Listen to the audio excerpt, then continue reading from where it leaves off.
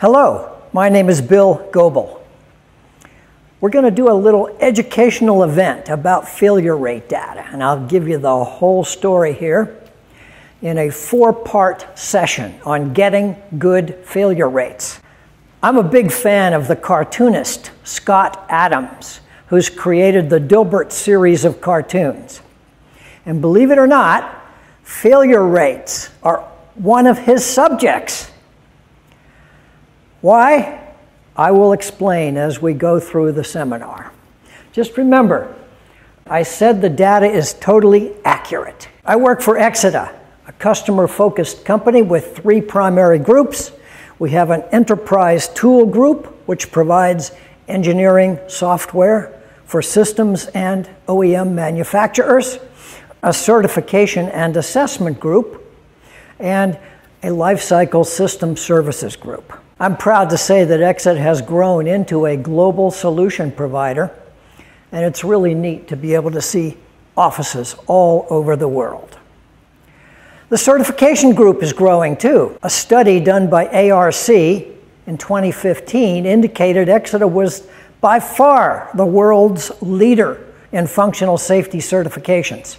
Even in the logic solver category that started over 15 years ago, Exida had leadership position at 44% of the market. The main competitors, three different TUV companies, only added up to 56%.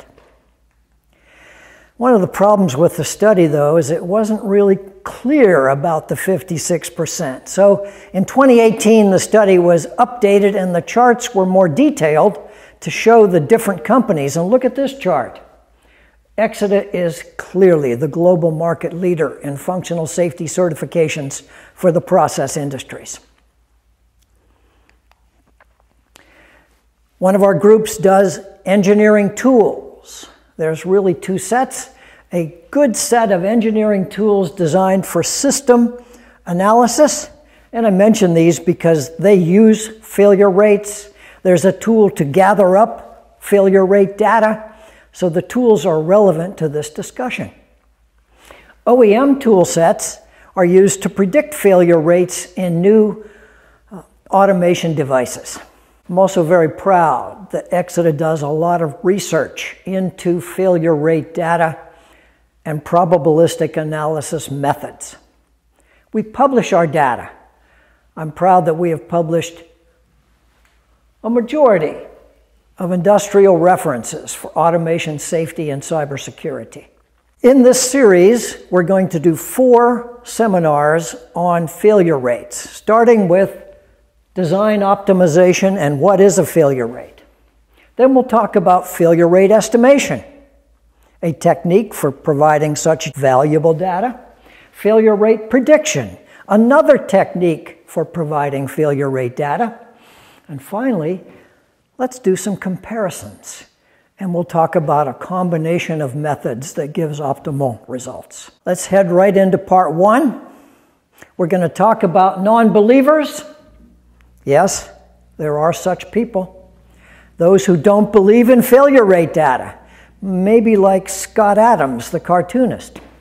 We'll talk about safety design optimization. I'll give you a definition of failure rates and we'll talk about how to calculate failure rates, at least a very brief introduction. One Sunday morning, I opened my Sunday paper, and there was another Dilbert cartoon about failure rate data. And I looked at it and said, ah, Scott Adams believes that the way we generate failure rate data is to type random numbers into a spreadsheet and then we're done. That's not really the way it works, and we're going to explain that to you in these uh, educational event sessions. But it does show you, in fact, that there are non believers, people who don't really trust or believe in the value of this methodology. However, in spite of those people, there are many more who understand the value of using calculations and analysis to optimize designs. We make trade offs between false trip rates and safety. We make trade offs between life cycle cost and capital expense. That can all be done using these analysis techniques. But this optimization and the strong economic benefit requires realistic failure rate data. And when you don't have good data, watch out.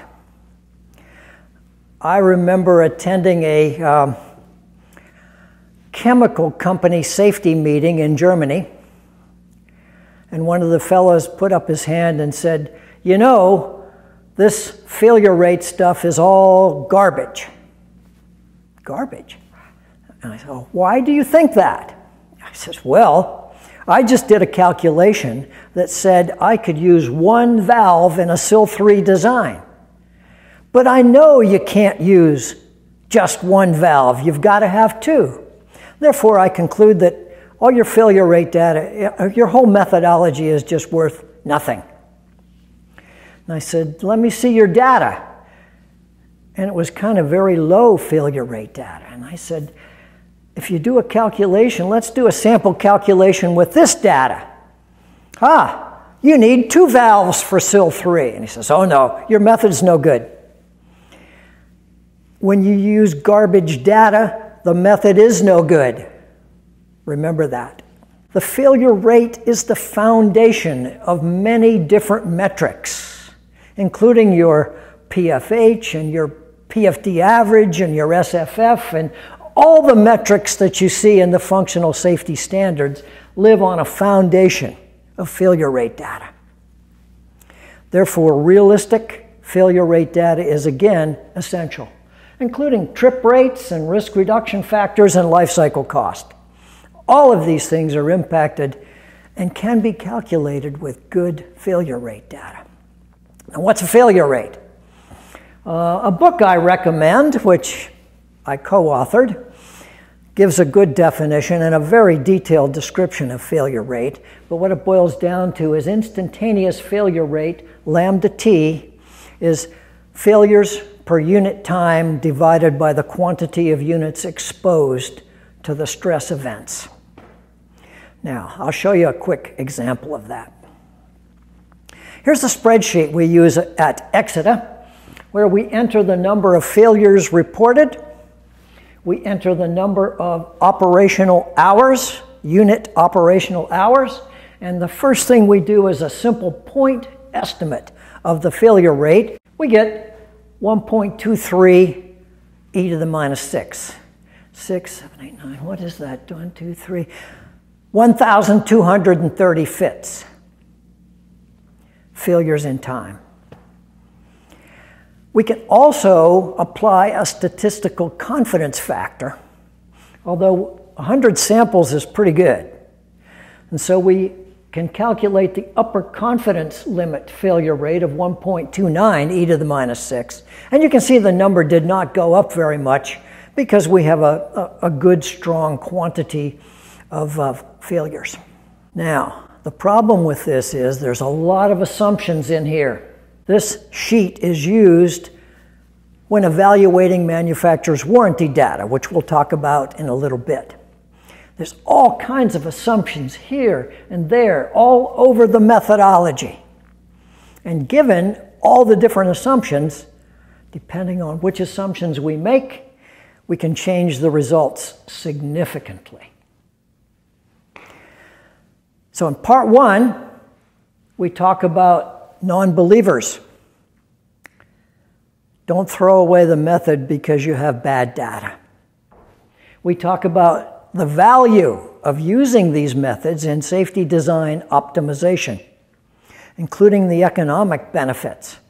We've given you a definition of the failure rates, and we've showed you a brief failure rate calculation.